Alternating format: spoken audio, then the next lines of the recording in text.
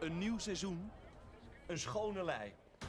Iedereen begint op nul, maar ADO bovenaan. En dan begint de onzekerheid. Je verdette krijgt een tik, valt weg. De scheidsfluit, penalty, tegen. Een mokerslag, de trainer op straat gezet. Elke uitwedstrijd wordt een lijdensweg. Houd het dan nooit op. Maar dan doet hij iets ongelooflijks.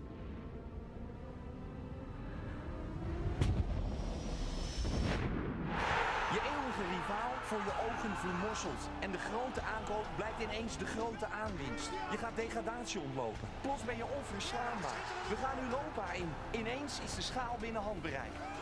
Niemand weet wat er gaat gebeuren dit seizoen. Maar als het gebeurt, zijn wij erbij.